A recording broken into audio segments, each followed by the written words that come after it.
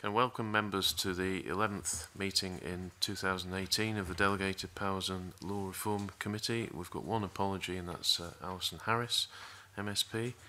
Um, can I welcome John Paul Sheridan and Robert Howie to the meeting to give their evidence on the Prescription Scotland Bill.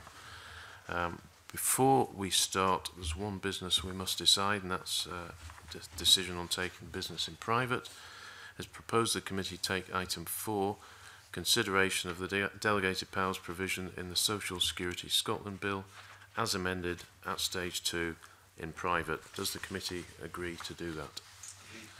Okay. So move on to agenda item two, which is consideration of the prescription bill. Um, we've got a couple of panels uh, with us today representing the legal profession. Um, so welcome again, John Paul Sheridan um, of the Obligations Committee of the Law Society of Scotland and Robert Howie QC of the Faculty of Advocates. Um, thanks very much for coming, gentlemen. And I'll open the evidence session and I think we've got uh, opening uh, two or three questions from Neil Finley. Thanks very much. Uh, good morning. Um, we'll try not to fall into cliche and stereotype talking about lawyers and money this morning. I'm sure we'll get those gags over early. Um, section uh, eh, 3 of the bill talks about the five year uh, eh, prescription to obligations to pay money. Um, I wonder if you could comment on the general principles of the uh, section 3 and um, in relation to the exemptions in section 3 also. Well, the general uh, view is that parties or anyone should be able to move on with their circumstances after a period of uh, uh five years. Um, so they shouldn't be chased for debts after that period of time. So if someone has an outstanding mortgage, or uh, sorry, a, a credit card or a bank overdraft, then they should be able to arrange their affairs so that they can't be chased after that period of time. Um, obviously, that is the legal principle applicable in most areas, uh, eh, eh, most countries around the world. Um, in terms of the exemptions, the, the vast bulk of the exemptions are not there for any legal or logical reason in the sense that um, the, their, a debt is treated any differently. Uh, the principle uh, is obviously whether or not it's fair for the more common good, for taxes, council tax, social security payments uh, and the like for people to be able to avoid repaying those after a period of time. Certainly, um, the Society's previous response indicated that they were of the view that council tax uh, should not be an exemption because, uh, in, as we understand it in England and Wales, the principle prescribes after six years uh, which is the English equivalent limitation period. Uh, and we can have come across situations where there can be particularly harsh results in council tax scenarios because it's joint and several. So you could have two tenants, for example, one who has paid their fair share, they split up, move along, and they can be chased seven, eight, nine years down the line. Um, but we understand that there may well be political reasons uh, for that not to be uh, treated in the same way as, say, for example, a commercial debt arrangement. Um, but that, that's the sort of general statutory exclusions. Certainly, tax and social security are reasonably common uh, e, e, exemptions. The child maintenance issue. Well, again, there's, there's no legal or logical reason why that should be uh, treated any different from any debt. However, again, it's a matter for, for the committee as, as better able to assess political dimensions than I am, but I, see no reason uh, uh, uh, in principle why that should be, why why you shouldn't have that as excluded. There is relatively little I have to say about this gentleman because faculty takes the view these are political considerations and therefore faculty expresses no view on them. Um, there's some questions raised about uh, various drafting points uh, and the faculty's um, response to the bill. Um, in relation to Section 3, maybe can you summarise briefly what those are? Um, the short answer is no, because they're detailed, um, and that's why they're down in, pr in print. There is, with respect, little benefit in discussing individual drafting matters just as somebody talking about it. It turns from lots, many years of unhappy experience not to work. Uh, and it's better to look simply at what has been said as to why it is that it, it's being contended that the drafting becomes unclear as it's suggested in the drafting originally. You have also to bear in mind that the faculty is talking about the original draft as originally produced, and certain changes have, we know, been made in order to meet a number of the objections which we made on objecting, uh, in drafting points, and therefore a number of them simply no longer have relevance. But uh, they tend to be rather detailed uh, items, and frankly, they're best read in print. You have the benefit of legal advice. You can operate on that principle, I suspect. I would not be putting your time to the best use to say it all again and probably in different language and then have somebody saying yes, but the other word is here. So what's the difference between that word and this word, which of course is exactly the kind of thing we're talking about. Um, you get, I don't know if it's one of the things you were intending to ask about, but you get an almost ideal example of it when you get to the discussion of act, neglect and default later on, where there's a proposal to change this. And uh, one of the issues there is well, we say we don't see the need to change it because everybody knows, or at least all lawyers know what act neglect and default mean because there's a House of Lords case that tells you what it means. Even if you weren't brought up with Cranmer in good Presbyterian country, we might be a bit bemused as to what some of it is, or not have the immediate grasp of it since we were that high. But there is a, as I say, a House of Lords Act that tells you what the answer is. So once you've been told what the answer is in this very field, in a Scottish appeal, why change it? It looks like you're trying to achieve some change of meaning when in fact, as I understand it, you're not. But that just demonstrates part of the difficulty about talking about drafting changes. They're best looked at in print with respect. Your brevity is welcome. Thank, thanks for sparing us. But uh, um, I, I mean, do you think these are, are these drafting errors in your in your view, or are there, are they a significant issue?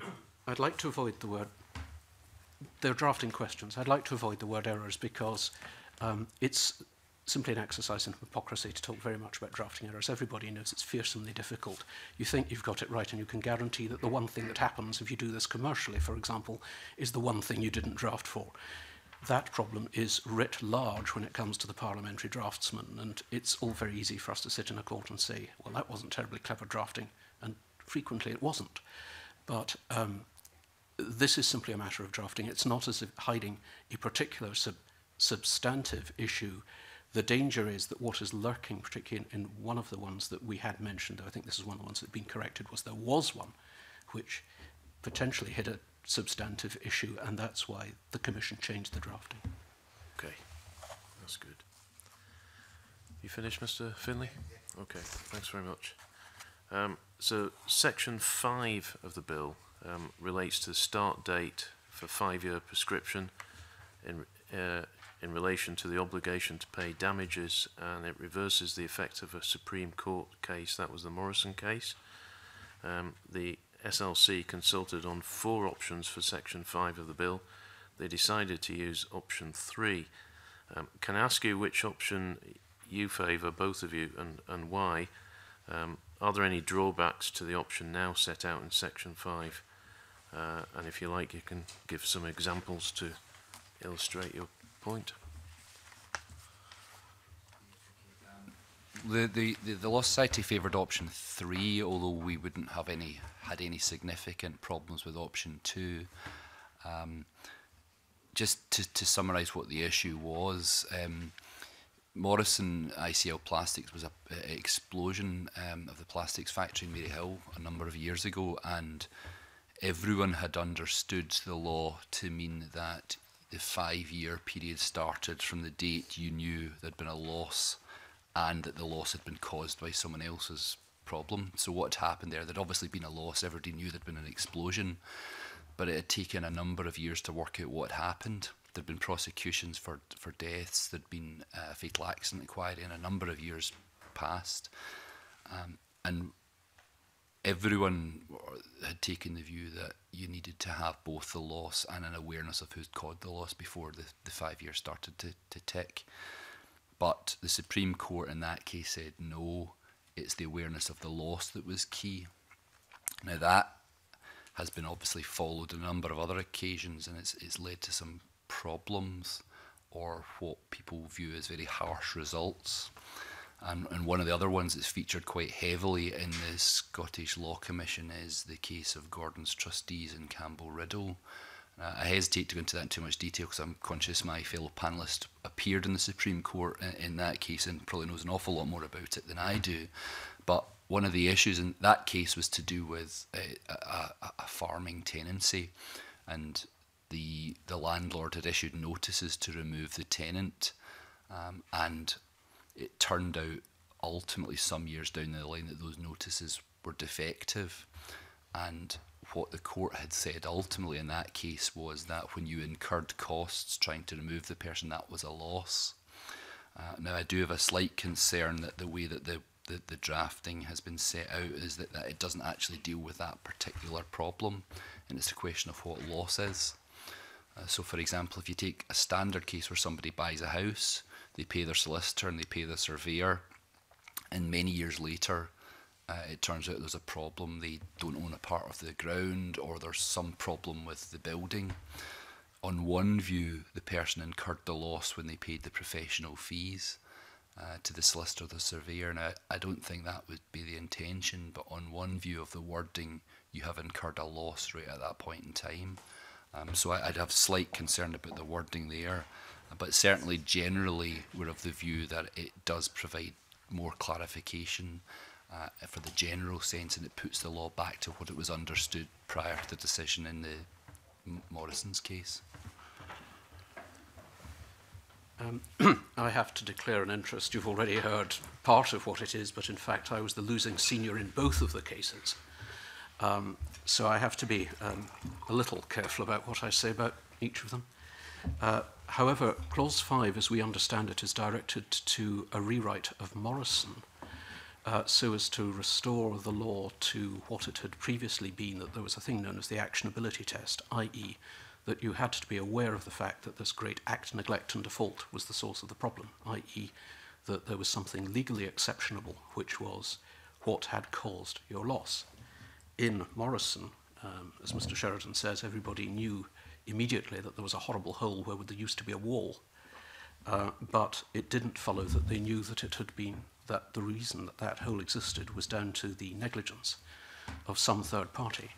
Now, with respect to Mr. Uh, Sheridan, it may have been a slip of the tongue, but the law has uh, not been so far that you needed to know the identity of the person who was responsible. You never needed to know that.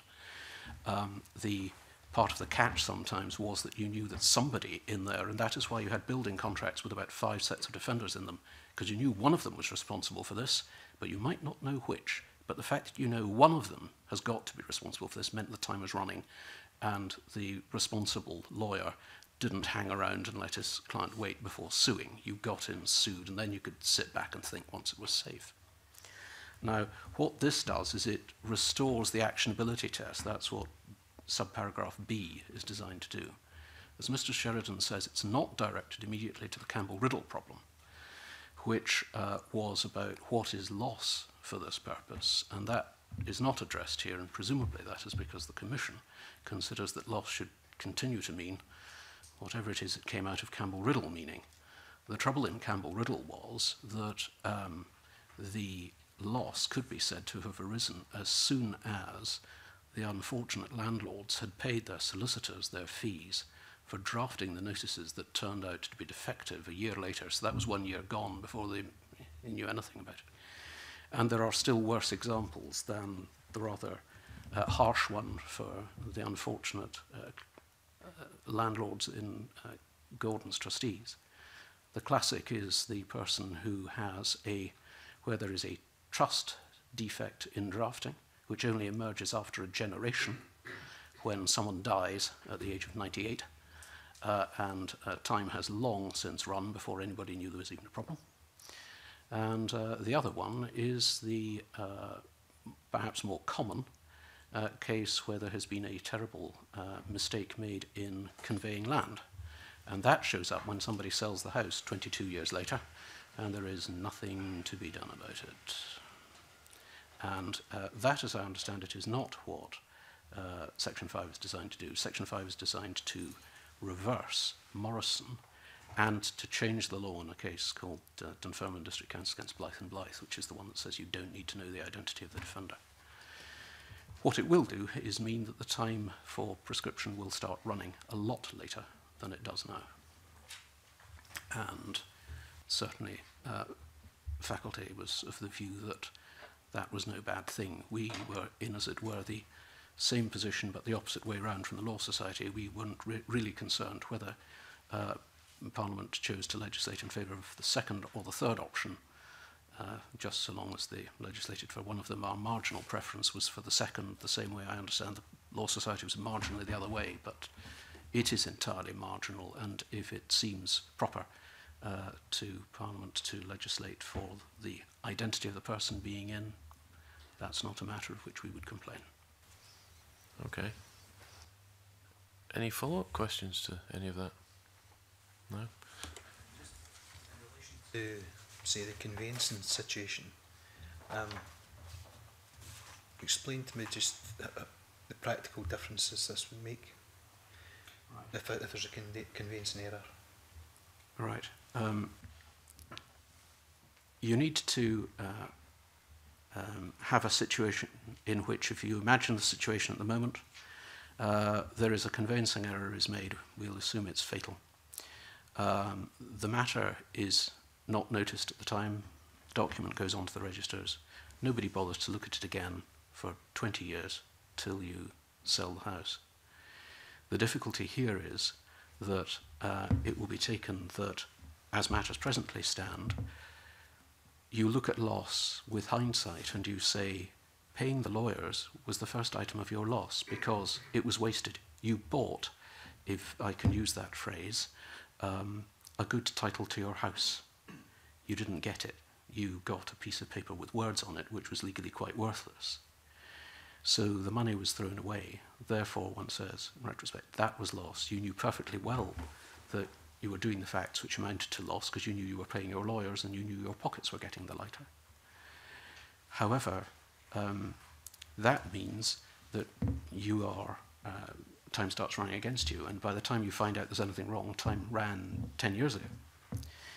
What uh, uh, Clause 5 is designed to do is to say, right, um, you have to know, or reasonably, constructively, or actually, if I can use the shorthand for the moment. You have to know uh, the three sets of facts. So the first of these is that um, loss has actually occurred.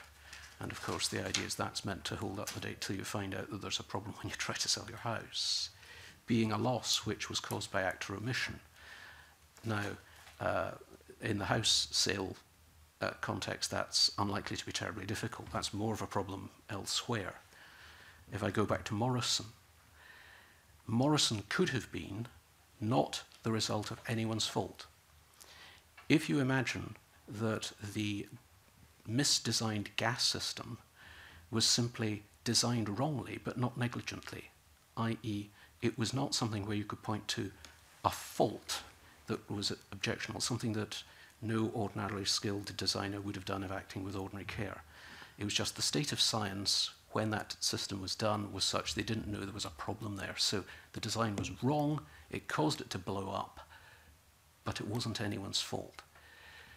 So that's one where you've got to try and find out that it was somebody's fault, or at least that's what we all thought we had to do until I made the nasty discovery in London. And uh, in the conveyancing case, that's not the real problem. In the conveyancing case, it's nobody has reason to believe there's a loss at all. And what this is seeking to do is to say, that until you know that you've got a loss caused by an identifiable person's fault, and the identity of the person in this case won't be difficult either. But until you know the last of these things, time isn't running against you. So what it'll do is move time running from when you paid your lawyers in the first place 20 years ago to when you find out there's a problem and somebody tells you it's because somebody made a terrible mess of the conveyancing. So it'll move the date quite dramatically in that class of case. What's the role of the insurance industry in this? In terms of delaying tactics that they use? Does that mean that the egg timer is running down all the time that they prevaricate and delay? Well, if you look at the, the responses to the Law Commission paper, generally the insurers uh, favoured retaining the decision uh, from Morrison's as being the applicable law. Um, hmm, as yeah, as indeed did the firms of solicitors who are, are viewed as the insurer firms. Um, the society takes a neutral view in that. The society is solicitors who act on both sides of these things. I personally don't act for any insurers. I, I tend to act in pursuing claims of this nature, um, and therefore understandably favoured uh, lengthening the prescription period. Uh, but the view generally, I think, amongst the, the, the members of the Obligations Committee at the Society was that the prescription period should be extended in the in the sense that the decision in, in Morrison was unfair and harsh and, and should be returned to the position previously a personal interest in a case that some of you maybe, I don't know if you are, the Happy Valley Road case in terms of convincing The Law Society has been involved with it, and it's not particularly related to prescription, but it is a situation where the um, uh, the owners of the property have done nothing wrong ever in this case and have been very badly let down by the insurance industry and the legal profession and still have not got that situation entitled to their property yet, as far as I'm aware. Anyway, I divulge, divert away from that. Okay. Little careful of instantly jumping to the assumption that the insurance industry is always delaying things and the examples I was giving you of the bad ones. always. Yeah. In this case, they have. Um, the kind of example I was giving you in relation to the conveyancing flaw or the Morrison type of thing, there was nothing that insurers could do for good or ill about changing the time at all. The problem is wholly independent of anything they do. And uh, when you get uh, the issue which may arise with delays is one that was canvassed by some of respondents, which was to do with um, delay in prosecution of actions and what should, whether or not prescription should keep being in, uh, um, interrupted permanently by uh, actions which are raised and which may take an awful long time to go and which then when they are thrown out, let us say, restart a new period of prescription for an immensely long period of time away. But um, it is, with respect, a little too easy just to jump to the conclusion that the insurance industry is always out for its own fell purposes to delay things to secure prescription. It frequently isn't doing anything. You said that, I didn't. right, um, David, I, I, wonder if this leads into your question on uh, the Hugh, Hugh Patterson uh, case. Uh, thank you, Convener, and good morning, panel. Um, the committee is aware of a Parliament petition from Hugh Patterson which provides an example of a situation where 20-year prescription has operated harshly. The petition relates to a situation where a solicitor made a significant mistake when applying to register a change of ownership of a house. Furthermore, the mistake is not discovered until a 20-year prescription has extinguished the associated right to sue a solicitor responsible for the damage. How common is this type of situation at the moment, And do you think these types of cases can be successfully dealt with by measures other than reform of the 20 year prescription? Do you know, do you know about this case? Um, I, I have no immediate knowledge of okay. this case at all, but I take it that it's an example of the kind of genus that we've just been talking yes. about. Yes. Um, and the fact, therefore, that I know nothing about it probably makes it a lot easier to say something. Um, there is a difficulty here. A 20 year prescription is here for a critical purpose, which is to ensure certainty. Here, as it seemed to faculty, there are differing uh, interests at play from those which are at play with a short negative prescription, where one can see grounds for um, extending time in the interests of pursuers. With 20 years, the whole object of the exercise is to bring things to a final halt. And that's the, that's the critical and most important thing, generally on a public interest basis. There will be hard cases, Mr. Patterson's maybe one of them, I don't know, where um, people do go over the 20 years and they find themselves simply without remedy. That's the classic adage of the hard case that makes very bad law if you legislate on the basis of it. One has, if I may suggest it, to legislate on the basis of the general cases and accept that unfortunately from time to time there are going to be hard ones. Um, I cannot answer at all the suggestion whether or not there would be other ways round of getting round the kind of problem that arises in Mr. Patterson's case because I just don't know what it is.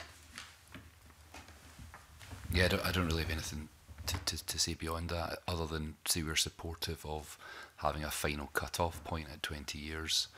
Um, I have read Mr. Patterson's petition. I don't know the full circumstances, but it, as Mr. Howie says, it, it's it, there are always going to be problematic cases, and I don't think you can design a law which covers everything. Is it not right though that if you if you only discover that there's been an issue after after 20 years, say when you say when you sell a property, that's when you find out there's been an issue. Surely surely it's right you should be able to do something about that in law. Respect, no, and indeed, as I understand what's been proposed by the Commission, the Commission would make it even clearer that you can't do anything about it. Um, the object of the exercise is to secure a date which is absolute cut-off date, where, which is certain, which uh, the insurance industry and indeed all of commerce which insures itself against risks can work against. What you can't have is a situation where liabilities could keep on running. This, for example, feeds into the question which was raised about should 20-year prescription be able to be interrupted, to which faculty certainly said no. And the reason is because if you can interrupt it, uh, and by interrupt I mean uh, stop it and restart it again from the beginning once you restart the situation that exists now, uh, then you have a situation in which you never know when liabilities are going to end. I think the Commission had an example of a liability which would last 39 years. Now, that makes it very difficult, certainly very expensive, possibly even impossible to insure against. And that's not in anyone's interest at all. So, um, uh, when it comes to the 20 year prescription, it seemed to members of the faculty that the crucial importance was bringing about a final end date. And some people are going to suffer because you do that. That's undoubted. And there are going to be bad cases, and there are going to be cases which, if they came before any of us, we'd be sitting there trying to find some scheme or another which we could use to get round it, recharacterize it. Some you know, lawyers are paid to do that kind of thing. And that would be when your professional ingenuity would be put to a test. But for the purposes of determining how does one legislate on the general case for um, the good of the public at large, then I suggest that's not the way of approaching it. Legislation for individual cases has been found in the past to be the legislation which proves to be most problematic, should we politely call it. Okay. Thank you, Convener. Section 8 would change the start date of the 20-year prescription for the obligation to pay damages. For Section 8 of the bill, you expressed some concerns about how it would work in relation to omissions to the Act and ongoing breaches. The SLC says oral evidence to a committee that the language used in Section 8 would be familiar to courts from another part of the 1973 Act, and so it could not see a difficulty here. Are you now content on this point, or do you remain concerned?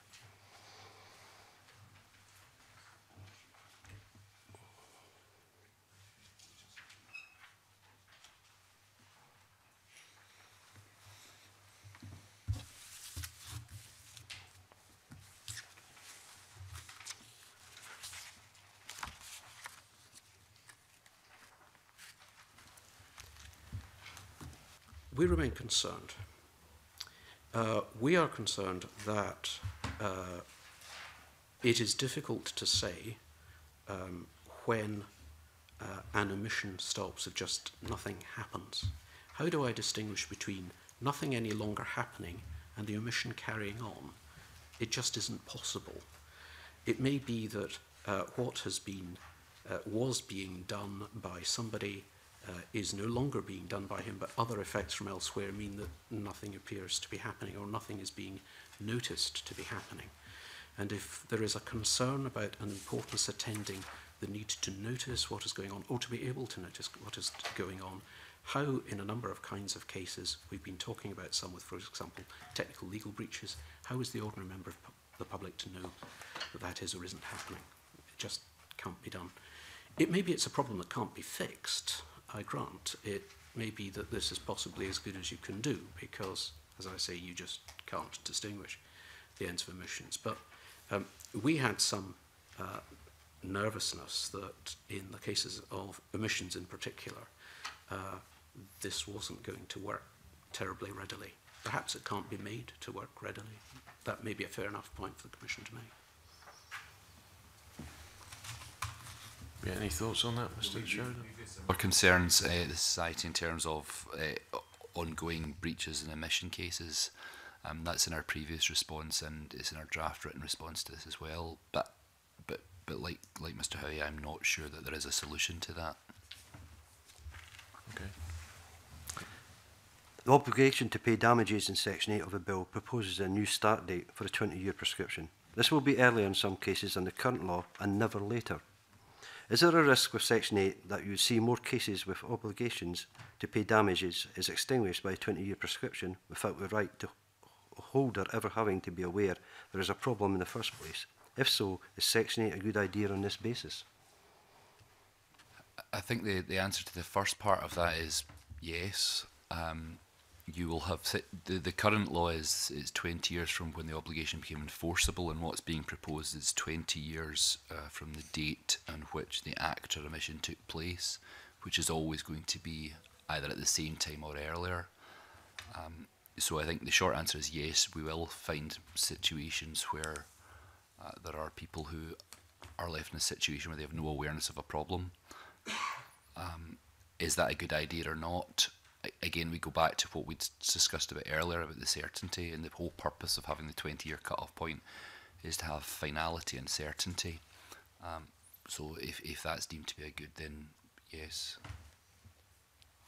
Um, faculty was fairly firmly of the opinion that securing certainty was to advantage here and indeed to tie this, even it's, at, um, to the uh, ACTA emission uh, was uh, wiser than trying to tie, tie it to loss because loss will simply mean that the uh, date you start from bounces off away further into the future and you could end up with these 39 year and indefinite obligations which are uh, in our opinion thoroughly undesirable therefore we felt that that was uh, an advantage we are not persuaded that the problem to which you advert is one which is going to be particularly significant statistically or serious Most of these cases of damages will be covered by five-year prescription things and therefore discoverability and all the rest of it. There comes a point, however, at which you have just got to say an end uh, has to be uh, come to. I was about to say enough is enough, but I think that's probably an unwise phrase to use right now. Um, but you have to say an, an end, uh, true, uh, an end has to be brought to this. And uh, we felt that that was the greater advantage because we suspect that the number of cases which will actually present the problem with which you show concern is going to be very limited indeed.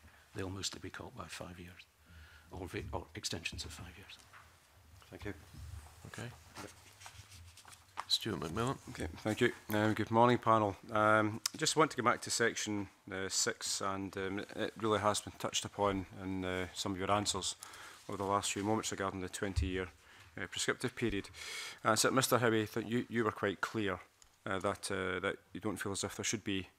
uh, any interruptions.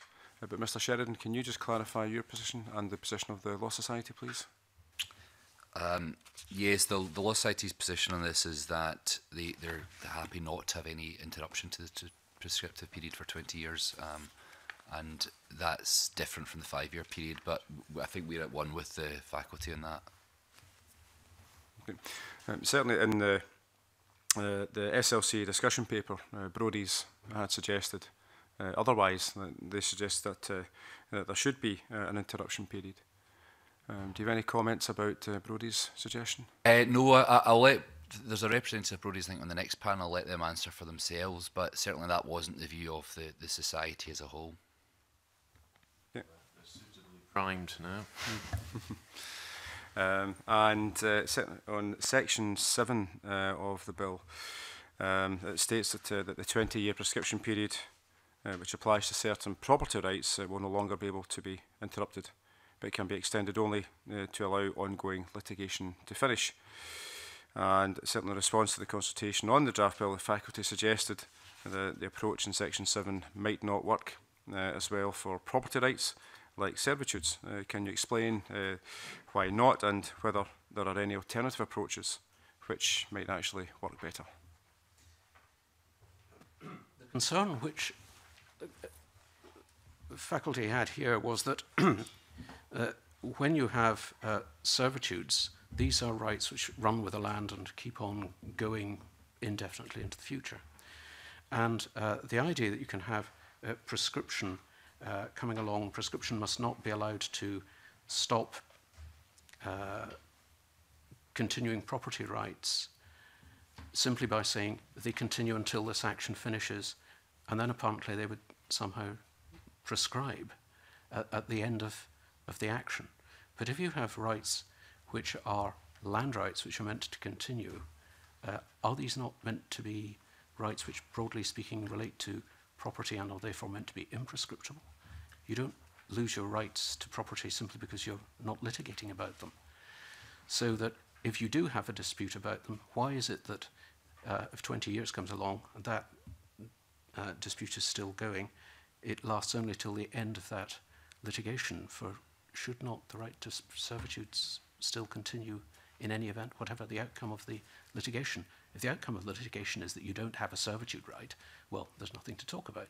If the outcome of the litigation is that there is a servitude right, um, why is it that you've been declared you do have a servitude right, except that apparently according to this, now that it's gone over the 20-year period, it's automatically been prescribed?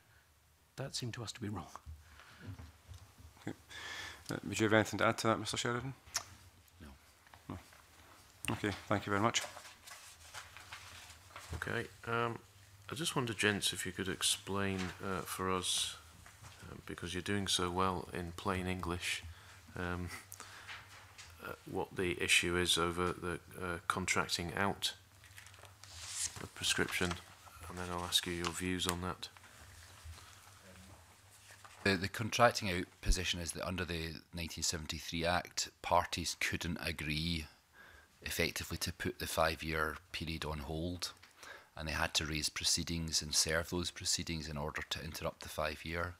What's being proposed here is that parties will be entitled to enter into a contract effectively to suspend that period without the need to raise proceedings. Um, what's proposed in the draft bill is slightly narrower than what was in the original discussion paper um, in the sense that the period in time is restricted to only uh, one year, so parties can only put things on hold for a year, uh, which would effectively extend the prescription period from five to six years. Certainly, as far as the Law Society are concerned, we don't see any reason why it should be restricted to one year because if parties want to agree to put things on hold for two or three years, then we don't see any particular reason in principle why that should be objectionable you can have all sorts of reasons why investigations might need to still go on, or there's issues about loss or calculations, or looking at different remedial solutions, which might take longer than a year. And the whole purpose of this section is to say, well, this is to stop people having to incur the costs of raising proceedings. And if it's just being delayed for one year, then you may end up having situations where people contract out for a year and then still need to raise proceedings anyway because it hasn't been resolved. So, but basically, both parties would would agree to put things at a standstill for yeah on, only a year under these proposals. Yes, that's and your, that's your argument is well you, you, should be able to agree to your almost any period you like. Yeah, well that would be subject to the twenty year maximum. Yeah, yeah. But but yes, I've no particular problem with with anything two, three, four, five years, whatever. I don't see any any problem with that. As long as both parties agree to that. Yes. Yeah. Okay. Mr. Howie, you got any thoughts on that? Um, faculty was very much more antagonistic to this idea. Um, we were the people who were saying that there had to be very tight restrictions on these so-called standstill agreements if you were to allow them at all. And uh, we would very much favour their being restricted to no more than one year. Uh, the danger is that if you allow them on an open-ended basis, they will be abused roundly. The, what you will end up happening is that there will be provisions to extend um, being put in uh, contracts if you didn't have, for example, the uh, restriction in 2A here, which says you can only do it after the period has commenced. Now, the importance in that is to stop people writing it into standard form contracts right at the start, because that effectively means saying, I write in a provision of my standard form contract because I've got lots of money and you don't, and I'm bigger than you, and I'm going to use my commercial power is that your obligations to me last for 40 years and mine to you last for 40 minutes. Now, we regard that as thoroughly undesirable. And it is, unless you have a restriction, for example, about when you can arise, make one of these agreements, that's the kind of thing we fear happening, and we're not persuaded that uh, legislation against unfair contract terms will be able to get at that. People will draft around it. They do regularly. We're also concerned that the danger, other danger is that if you don't restrict the period of time for which you do it and the number of times you do it, it will become an excuse for procrastination, for Fabian tactics, for delaying, uh, for foul reasons or fair, and that uh, it's an invitation for nothing to happen, to in fact invite the very problems that prescription is there to prevent evidence going stale, actions not happening on time, people being persecuted with old claims which can't prove because everybody's forgotten and the documents have been lost. And generally, all the reasons we have prescription in the first place are in danger of being thrown out with the bathwater.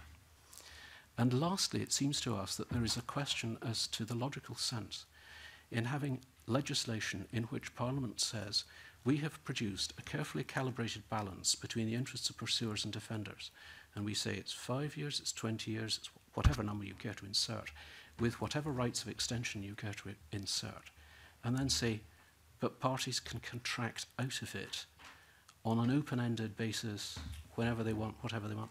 One might ask, why were you bothering to legislate in the first place? Because it's a free-for-all. And therefore, the current legislation simply prohibits this, uh, at least. Sorry, I say that with a, certi a, a certitude which may mislead you. There isn't actually any real authority about it, but the general understanding is it's simply prohibited under Section 13.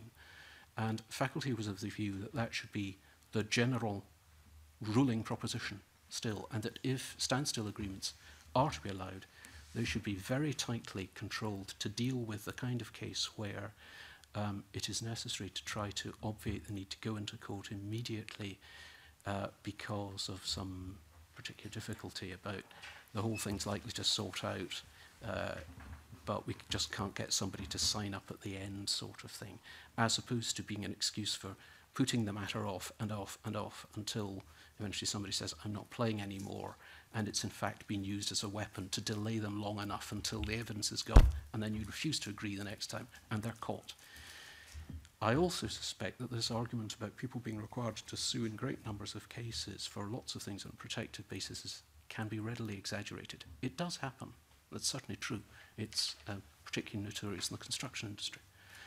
But it doesn't take up much resource, in fact, because what tends to happen is you raise your action against all the people and they serve the thing, get protection, run around to all the defenders and say, it's all right, you don't need to waste time defending this. We're going to, we're going to agree to stop this. We'll call it if we have to, to assist it. Once we've got the time bar broken, we'll stop and everybody can sort it out. It's not actually that much of an imposition. And we fear that you may be producing something worse to cure a minor problem by allowing anything other than the tightest of rules on standstill agreements.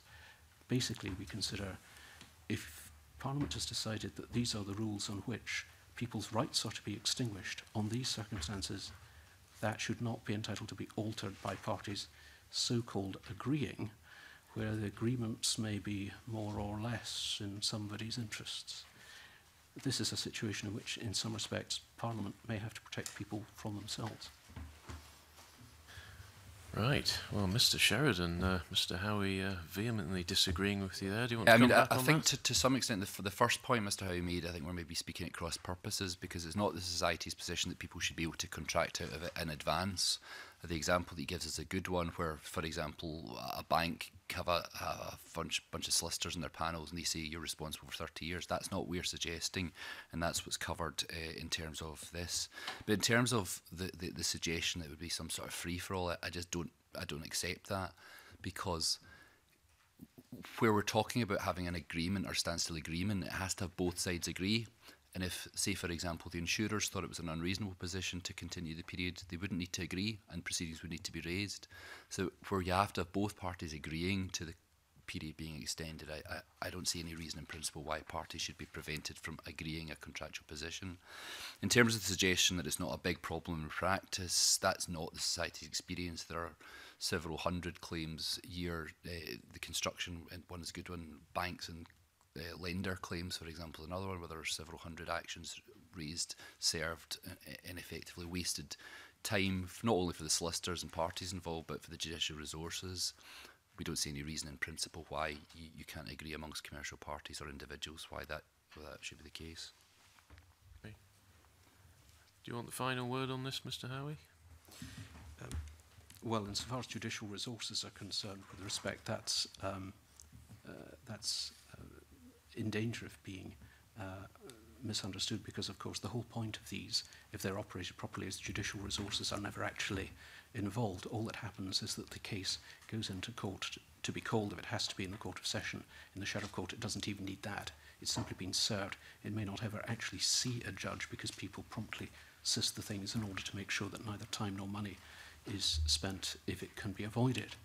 Um, I suspect there is simply fundamentally a difference of view about what the right thing to do between Milan, Mr. Sheridan and myself about this, and I suspect it's a matter where the legislators are going to have to do what they're there to do, which is make up their mind which way they're going to jump. Okay. Any members got any mop-up questions? It's um, difficult cases. I know they're small in number, particularly. You know, I'll revert back to the conveyance one I'm talking about, and also the Patterson case. Um, they are small in number, but I think they're quite fundamental to confidence in the conveyancing system in particular. So therefore, do we just say, well, there's, these are these are just odd cases, in the big scheme of things, they don't really matter. But ultimately, if they are, if they become more high-profile cases, that people start to say, well, you know, here's people who thought they had purchased a property that was everything was fine. They engaged a professionally qualified solicitor, and that did not materialise that surely puts into some question the um, the conveyancing system. Sorry, no, I, mean, I, I don't. I, I don't know anything about the the, the, the, the Valley case you're talking about particularly, and, and, I'm not sure of the full details, Mr. Patterson case. But I, I do I do accept your point in principle that there has to be an element of confidence in the conveyancing system as a whole, and obviously the, the, the Parliament has looked at the registration and the land registration deeds and the whole land registration process, and as I understand it, there's a incentive to try and have all land registered on the land registry within the next sort of seven or eight years. And it may be that that will do something to resolve it, but I do get the point. Um, but I'm not sure what the solution is because if you have a cut off point at 20 years, as a point of general principle, there will always be situations where somebody doesn't know about it until after that period of time. You know, people buy homes and they can own them for 30, 40, 50 years without ever looking at the title deeds. And I'm just not sure what the solution is to that.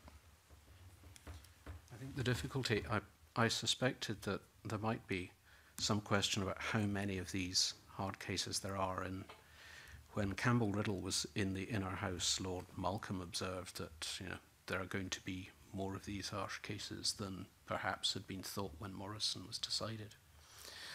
And I bent my mind to thinking if I could devise a way whereby I could think of uh, a way in which you could get an idea on some kind of scientific evidential basis as opposed to just what is ultimately anecdotal material from the likes of me about how many of these there are. And I regret I don't think there is. One of the reasons is that Uh, if cases are abandoned for Morrison or Campbell Riddle type reasons, it will happen in private, quietly. Nothing will appear above the waterline. What will be seen in court is a document that's indistinguishable from the document that would go in if a pursuer had won on a settlement, a defender had won on a settlement. The case had gone away for umpteen reasons. There's simply just nothing will actually give it away. And the best you're actually going to be able to do is that there's anecdote and that Morrison and Campbell Riddle have done quite a lot of damage and will do kill quite a lot more cases yet. But I think the difficulty that you have, particularly with your conveyancing cases, is that you're talking about losses which happen at such long terms that if you use that as being the determinant of where you were going to fix your ultimate long negative prescription, what we've been talking about is the Vicenium, the 20 year period, you will end up with a period so long that if you're applying it to uh, across the board as the general cutoff for all obligations, it'll be picking up all the other obligations that haven't been picked up by the five years. The sets of five years can carry on now. Instead of for four times, they could carry on for 10 times because, let's say, 50 years was the ultimate cut-off date. And you would find yourself in the kind of difficulty with the kind of cases that you'll find if you look up in 18th century and 17th century law books when we did have 40 years as the period of long negative prescription. And you get these cases that go on and on, fighting on and on and on. Um, and the whole reason that things were pulled back in the 1970s to 20 years was to make a major reduction from the 40 years because it was felt that this just meant that people were trying to pursue obligations at 35 years when everybody was dead, half the evidence was lost, and it was just a hopeless endeavor for a court trying to work out what to do. So I think the difficulty is that this is simply demonstrating the old adage about the hard cases and the bad law. Um, if there is a problem, particularly in relation to conveyancing, that would suggest that the place to attack it is not in relation to Uh, the general law of prescription, which is what you're considering here, but some legislation in relation to conveyancing. But I would caution that the problem may just be impossible. It's a function of this. If you have any line drawn in the sand as being where it go beyond that and your rights are extinguished, there is always some poor soul that's going to find himself in some case on the wrong side of that line through no fault of his own, and there is nothing that human power can do about that.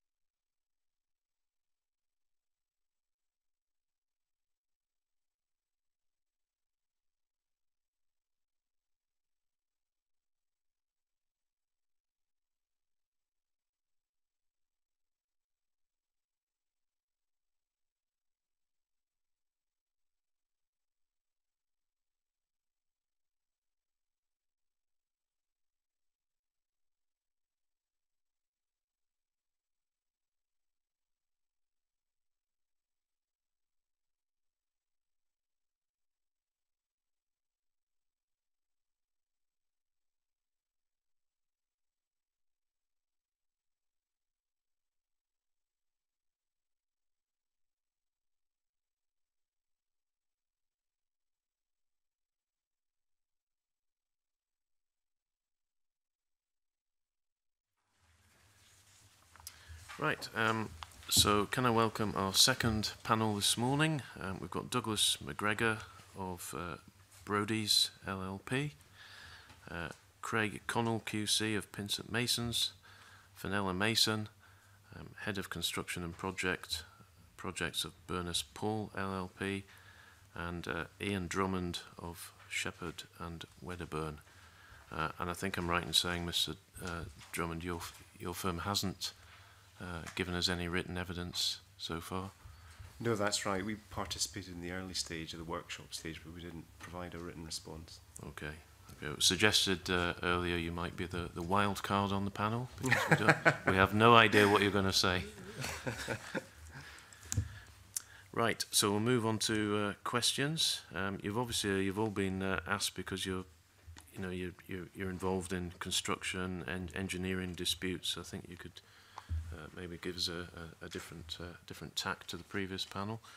Uh, and we'll start off again with Neil Finlay. Yeah, um, the start the previous panel was asking about Section 3 and the um, extension uh, of prescription to all obligations to pay money um, I wonder if you could comment on that section and whether you approve of, it, of what's been proposed and um, if you could um, talk about the ex exemptions and whether you agree with the exemptions as well.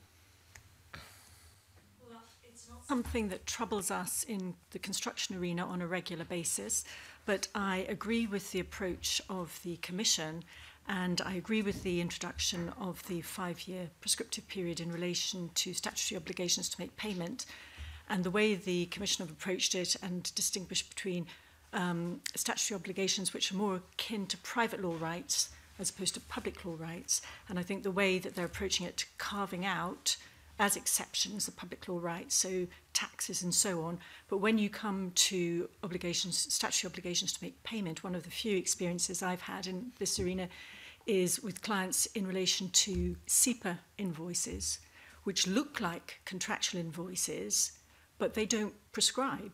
And that didn't seem terribly fair because they came about through what looked like a contract and were operated in a way that was like a contract. And yet, even although they hadn't been followed up and the client organisation had been bought and sold, so papers were lost, they were still exposed to an imprescriptible claim. So I agree with the approach that's been taken. Um, I think our we, we agree with the approach which the uh, Commission have adopted. Um, we have no real difficulty with the proposed exceptions which have um, been agreed. We haven't been privy, I don't think, to the submissions that were made to the Commission um, by various bodies about those uh, exceptions.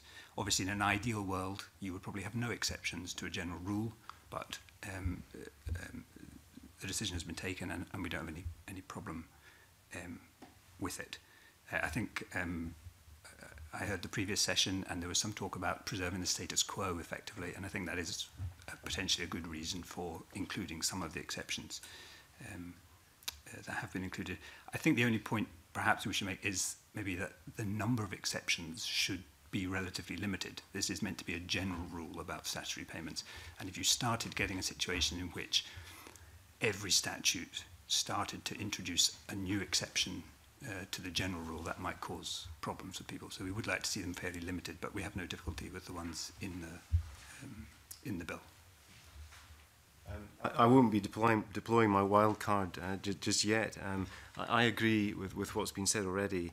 Um, we don't have any particular issue with the approach. I agree with the approach that's taken, and I think the exceptions that are listed are really policy ex exceptions. I can understand the policy behind them, but it, it's, it's clearly a matter for, for the Parliament as to whether, whether those are correct.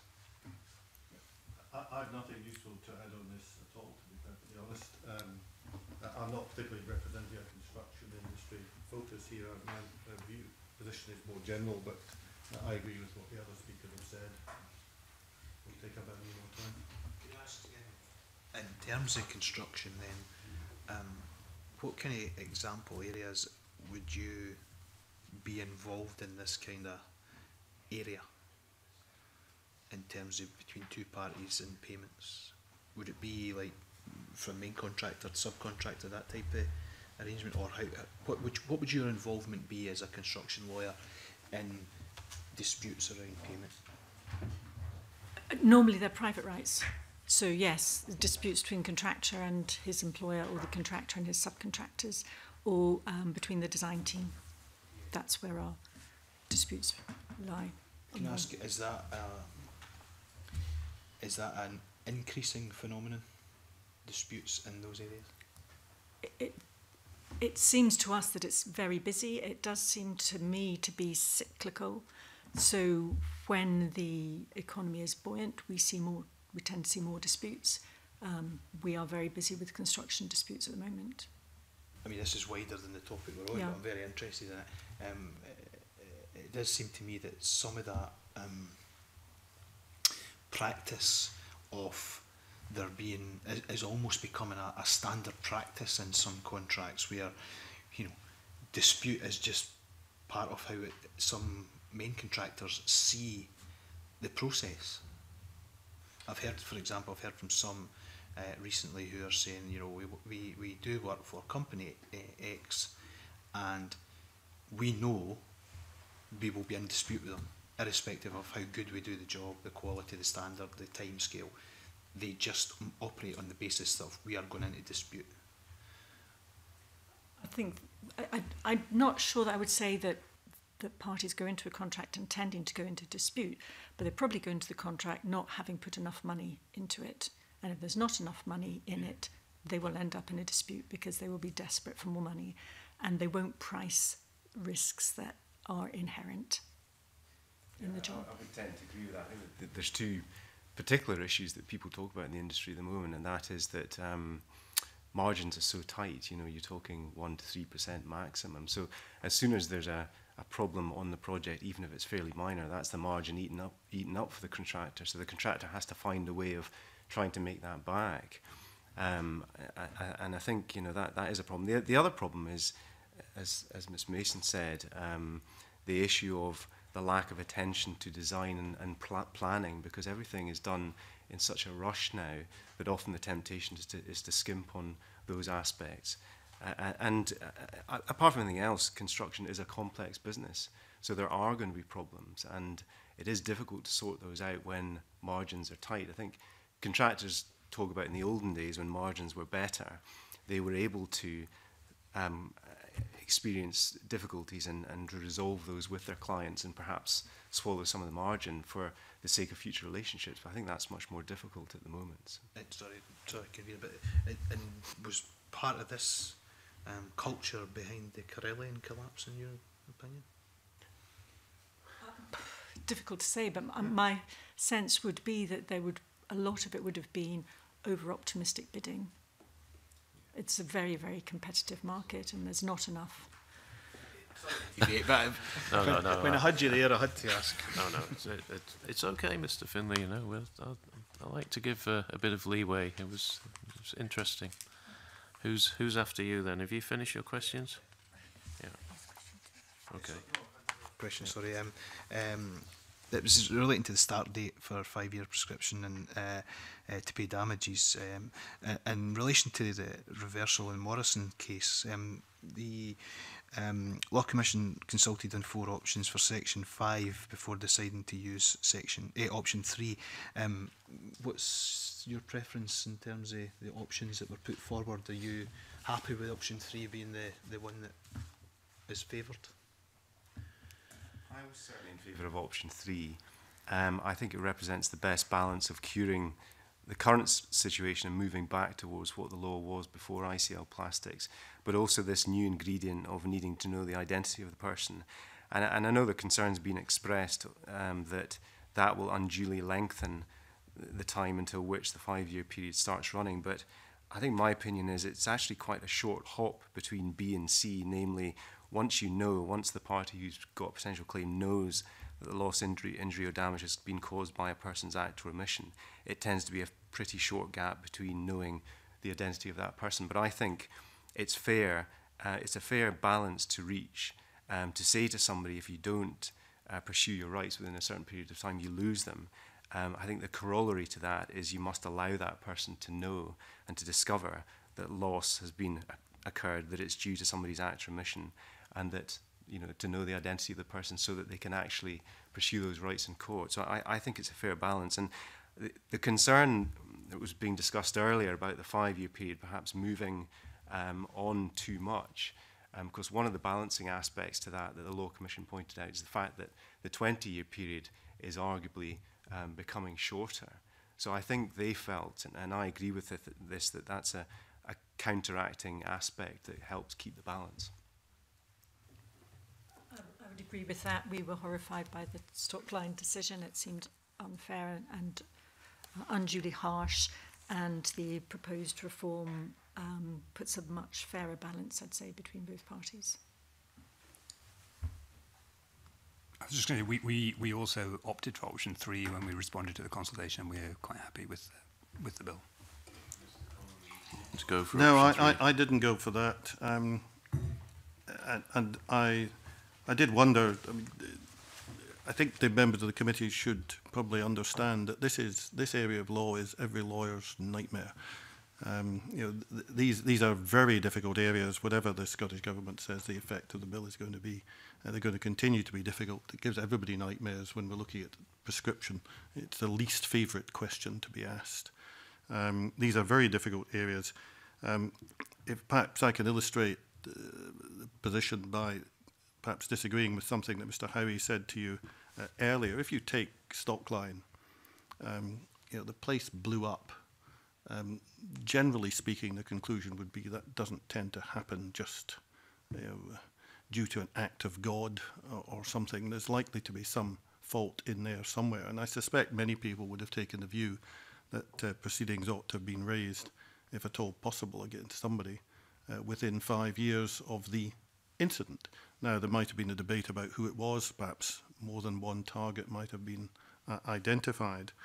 Uh, and what, one of the difficult questions that arises in these areas, and I'm sorry to raise a sort of broader issue, is, is what is the five years intended to be for? This was a question I, I raised with the, the, the Commission. Uh, if you've if you follow the theory of the average case through and you know that there's a loss and you know it's due to somebody's fault and you know who the somebody is, uh, what's, what policy purpose does giving you then five years uh, actually uh, fulfill? Because that's a quite a long time just to start the proceedings, uh, which might then take uh, some further time. I wouldn't necessarily agree with Mr. Howie that proceedings nowadays are going to take ages because other policy initiatives uh, that this committee may be peripherally aware of are all designed to make court proceedings uh, more efficient and speedier and so on. Um, so it, it, I, I think it's quite a difficult exercise. Uh, uh Mr. Drummond talks about the balance, and that is one thing that the Commission referred to, trying to create a sort of balance between different competing interests. And my only comment on that is that, um, and everybody's anecdotal material is different, but in my experience over a depressingly large number of years in contentious work, 20 year prescription cases in any form are pretty rare animals.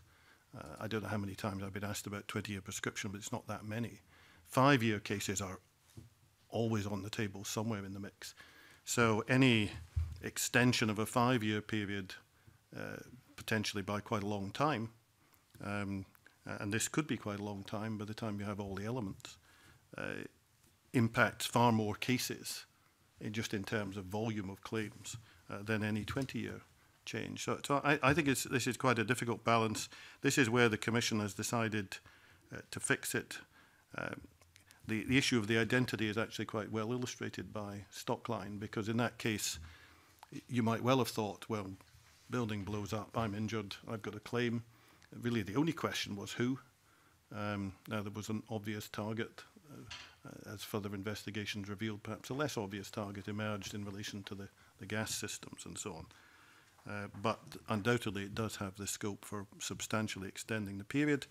If you take the view that, broadly speaking, the way the world is going now is actually to tighten time limits, um, you'll find you know your average personal injury case ends after three years. If you don't get off your mark and sue, there are other statutory provisions which talk about one year. Most people who have contracts with bars on claims have shorter periods. So Uh, I, I felt perhaps the balance had tilted a bit more, but that's just a personal view.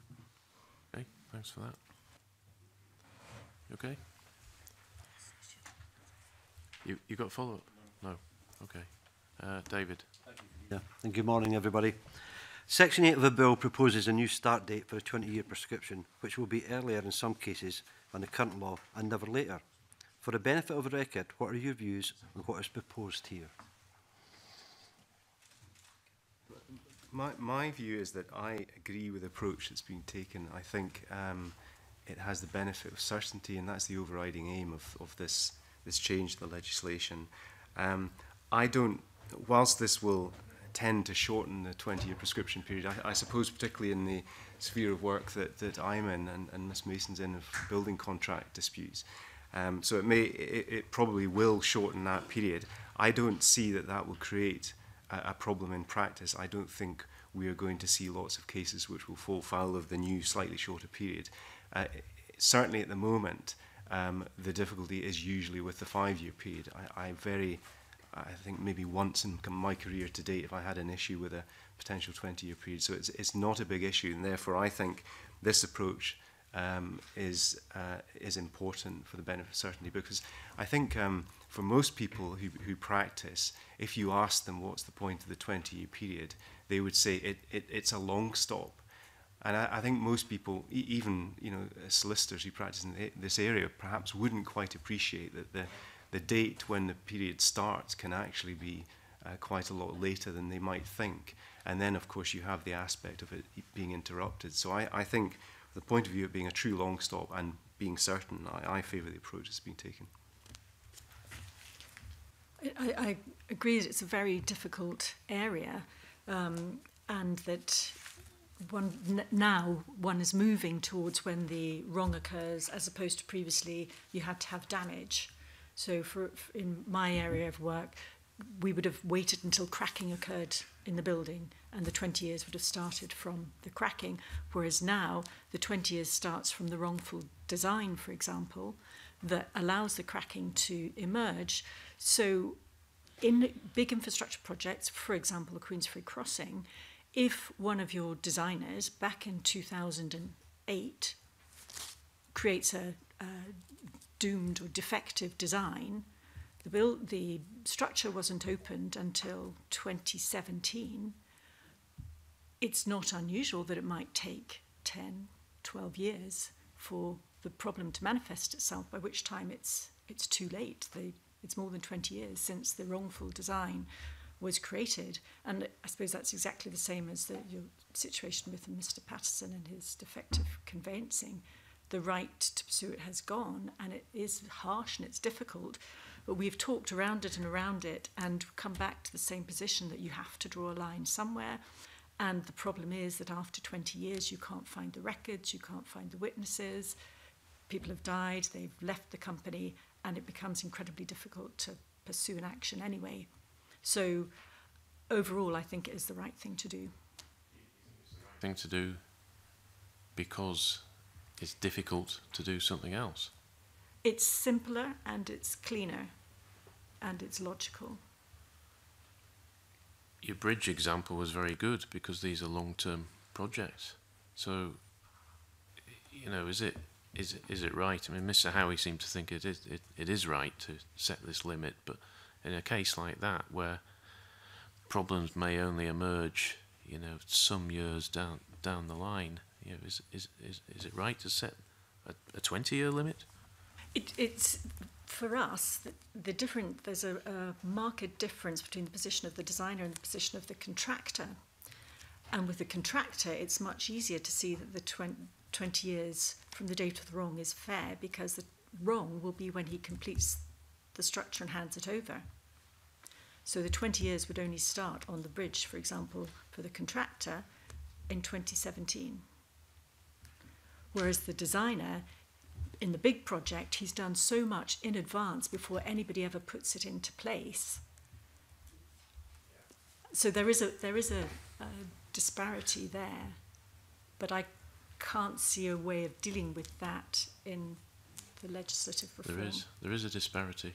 Mm. And you're not going to have any idea that the designer's done something wrong until the bridge is open and has been in operation for, for some years. Sorry, does anyone else want to come in? Well, I, I, I agree with the principle of, of the 20 years, and I think it uh, we have to acknowledge that this is simply a question of policy most jurisdictions have some kind of long stop and they just take a view. Uh, others have, other jurisdictions have a period less than 20 years. Uh, 20 years is, isn't particularly short or out of, out of place. Uh, I think it's the right thing to do. I think you have an, a simple rule. And once everybody knows that, then they gear themselves up.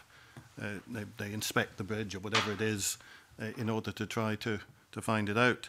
Uh, and I think that the reality of trying to deal with claims after a very long period of time is quite significant. Uh, uh, we had one, I think I mentioned in my response, that, that came in where somebody was complaining about something done on a document 47 years previously, and everybody went, well, uh, who, who was that? Oh, I can see the initials on the document. Oh, this person is dead. Anyone who worked with them is gone. Uh, the papers have been destroyed. And even with the electronic world, it's very, very difficult to track random emails from a very long period ago. So um, I think there was a case actually involving the Kingston Bridge in Glasgow that I have a vague recollection of. I can't remember now why. Uh, and, and it caused enormous problems because under the previous law, it was said that no loss had been incurred until many years after the event, therefore time hadn't started to run, and people were trying to traipse back into history. Uh, and then you get great difficulties getting a just solution after, af after that time. So it, it's just a question of policy, and I think it's the right one we, we also agree. Threat policy, really for the reasons which have been given, clarity, certainty. I think it's also more in keeping with the, um, the idea of the 20-year period as a long stop.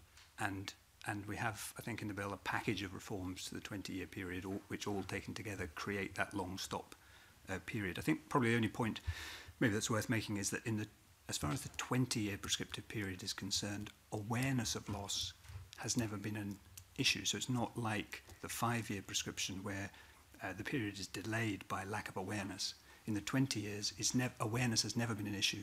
What's looked at is the fact of loss, injury and damage having occurred.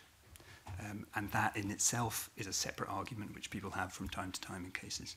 Um, but it's not, it's not as if that awareness issue is being removed um, by the bill. The Law Society and the faculty have previously expressed some concerns about how Section 8 would work in relation to admission to the Act and continuing breaches. What are your, your views on this topic, including the SLC's commitments, comments sorry, on this during the first evidence session?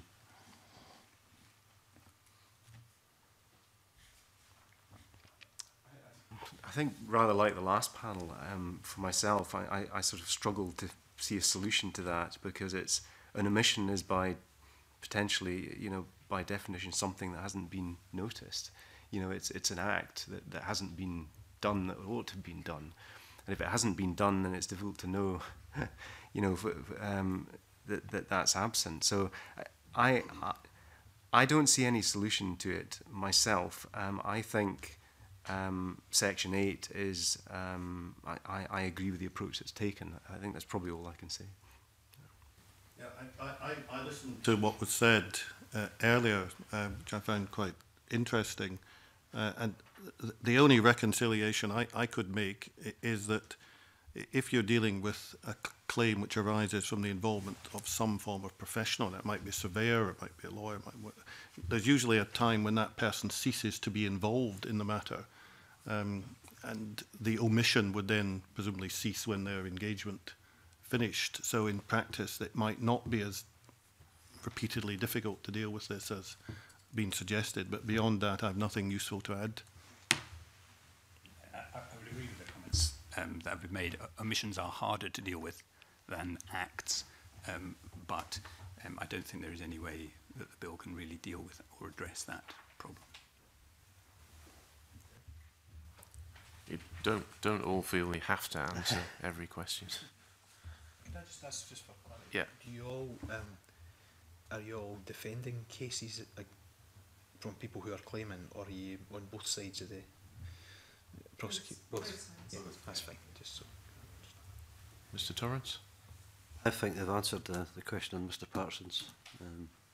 in earlier evidence here.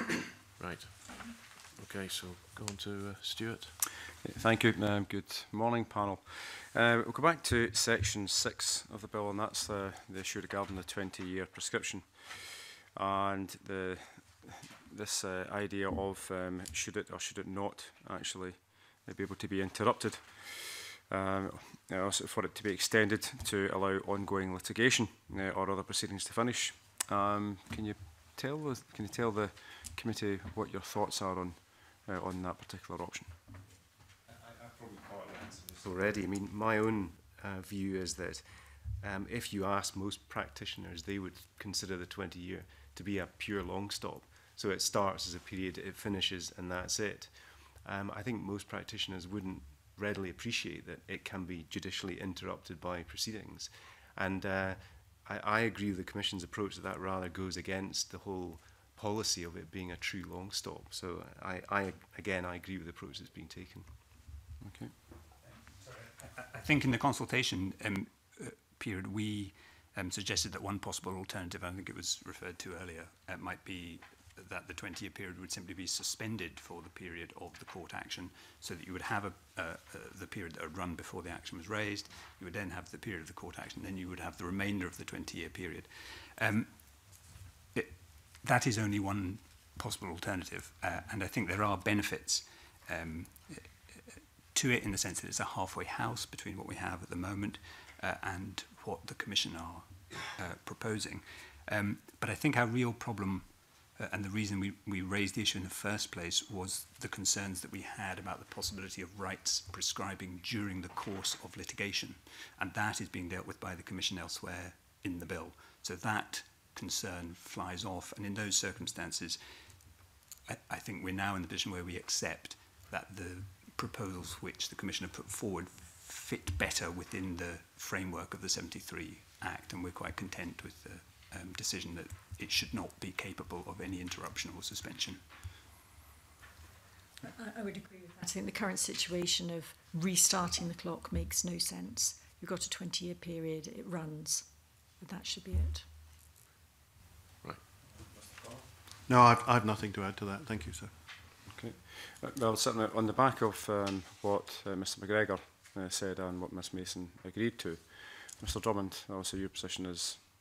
uh, is also just to kind of continue. Um, do you agree or disagree with your with your colleagues in the panel, or, or do you have any uh, would you have any, anything further to add? Well, well, my position is the same actually, um, that the 20 period should start and should stop over that 20 years continuously, which is what the Commission is proposing. I mean, I, I didn't mention the subsidiary point, which is that there ought to be a short extension at the end, say, if there is proceedings on the go. And I think that's that has to be uh, the, the position because obviously you can't have a situation where um, rights are litigated prior to the end of the 20-year period and then they end just because the 20-year period comes to an end. So that that's good common sense in, in my view. Okay. Um, section 7 excuse me, Section 7 of the bill uh, says that uh, the type of 20-year prescription uh, applicable to certain property rights can no longer be interrupted. excuse me. Uh, again, uh, there is the, the possibility of an extension until ongoing litigation or other proceedings to finish. And the faculty has previously suggested that this approach might not work uh, as well for property rights like servitudes, as we heard in the Eh, from the faculty earlier, eh, and certainly eh, can the can the panel provide the committee with any thoughts on the on that particular issue, please?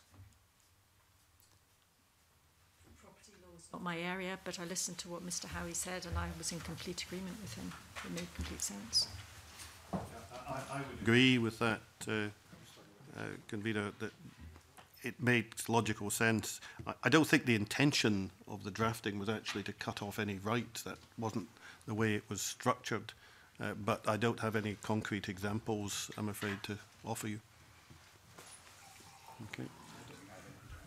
All right. Okay. Okay, thank you. Okay, thanks. Um, so you, you, you heard the discussion earlier about uh, the co contracting out. Um, so I wonder if I can just ask for, for your views on that. Um, I think I should start by saying that we're we agree with the Commission entirely that opting out um, or contracting out should be um, available to parties. Um, it's only available to parties in relation to uh, the Section 6 five-year and the Section 8A, the two-year uh, prescriptive uh, periods. We agree that it should be um, limited to one uh, chance at uh, varying the period, um, that it should be a maximum of one year. Uh, uh, and um, that it has to be during the statutory uh, prescriptive period. Um, the only cons remaining concern really we have about section 13 is in relation to the language in section 13. It talks very specifically about extending the prescriptive period um, and provides parties with the right to um, extend it. What it doesn't talk about is suspending the prescriptive uh, period. And in reality, our view is that that is probably in many cases a more attractive option um, for uh, parties. It would also work better with the one-year restriction because parties would have more certainty about the length of time they were agreeing to, su to suspend the prescriptive period. Um, where you are looking to extend a period by no more than one year, there needs to be some um, knowledge of the start date and the end date of the prescriptive period. And I think simply allowing or only allowing extension will cause problems uh, in the in the future. Um, so I think I think we would be keen to see the bill amended to allow suspension, and um, possibly alongside extension, because both can operate successfully. But we would certainly like to make sure that suspension is a is a, a possibility. Okay. Yeah, I, I would just um, e- endorse what Mr. McGregor said about suspension. I had the opportunity of discussing this with him before we joined the committee. It wasn't a point I'd considered, but as soon as he told me, I think it's an excellent point. Because in reality, uh, these things arise. People haven't worked out a precise start date, a precise end date, and they're talking about extension. What you're actually talking about is pressing the pause button. Uh, and often, uh, it, it, by experience, what, what, will happen, say, is that you, you think your claim is against A, Um, and everybody thinks A is probably the right target, but actually it's possibly B. But then you're starting to worry about time bars. So what you're doing is, is pausing on B and, until A gets, gets sorted out. Now, for that reason, I would agree with the Law Society's comment this morning about timing, because I don't see why it should be restricted uh, in all cases to one year. There might be cases where a longer period uh, would be agreed. Uh, and I certainly don't agree with the faculty's view that this is some kind of abusive process. Um, now, everybody's experience is different, but uh, these things tend to arise in discussions between lawyers on both sides. Now, if somebody was bothered that some lay party was going to be bulldozed into something that was unwise, then no doubt, as in other legislation, you could write in that it's only possible if the party had independent legal advice or something of that kind. But I suspect that's an unnecessary precaution. Uh, these are usually discussed between lawyers uh, in a messy situation where there's good reason to press the pause button. So I, I, think it's an excellent idea. It's commonly used in England and Wales. That's no reason to do anything uh, just because it's used down there, but it, it is a practical solution. And although Mr. Howie is right in saying that judicial resource isn't usually deployed to deal with these claims when they're commenced, um, it's not always easy in the Scottish system where you have to serve the proceedings. In England, you just have to issue them and you get them past the court. In Scotland, you have to serve proceedings to break the time bar. And that can mean finding somebody who you may not be very sure where they are, or they've moved address, or the company has changed, or whatever. And if you're forced to rush about and do that, it can be productive of uh, certainly worry and, and expense as well. So the the option uh, is, I think, very worthwhile. How bigger difference cost-wise, I think, could be readily exaggerated, but nevertheless an option that's worthwhile. Ms. Mercer. We're very much in favour of the introduction of a standstill agreement, and we have had experience of um, English clients or English lawyers saying to us, well, could, can we not just have a standstill agreement, please? We're all talking about the problem. We don't know the cause of the defect that's emerged. We want to investigate it. We don't want to litigate. And our advice ha has to be I'm sorry, we can't do that for you. We have to litigate in order to stop the clock from running. So it sets the scene and perhaps puts parties against each other when they had been working together. So a standstill agreement, um, I think, would be a welcome introduction. There, there's another point in relation to contracting out that causes us a real concern and for some reason hasn't been picked up by the Scottish Law Commission in, in this report, or it's been sort of dismissed, but was picked up in the 1989 report, and that is in relation to the party's ability to shorten the prescriptive period. And that is an issue that we come across on a regular basis. And I understand that the reluctance of the um, Law Commission to get into this is because of the distinction between prescription and limitation. And you're probably all looking blank, and a lot of lawyers look blank. And to my mind, it's a pretty artificial distinction the commercial reality is that parties need to be able to price for a risk. And in the big infrastructure jobs that we see, they will accept around a 12 year period for risk. And everybody knows that's the position. And what we don't want to see is parties arguing about whether um, that clause in the contract, which says we're only on the hook for 12 years, is prescription and therefore void and null because it's an attempt to contract out, or whether it's limitation which is allowed. And if the language is incorrect, then it may be that it falls foul of the legislation. And there seems to be no point in having legislation that's um, here to, you know, we know the purpose of this legislation, it's to produce certainty and avoid stale claims. It's not there to interfere with the freedom to contract. And there is a real missed opportunity, I would say, in this legislation.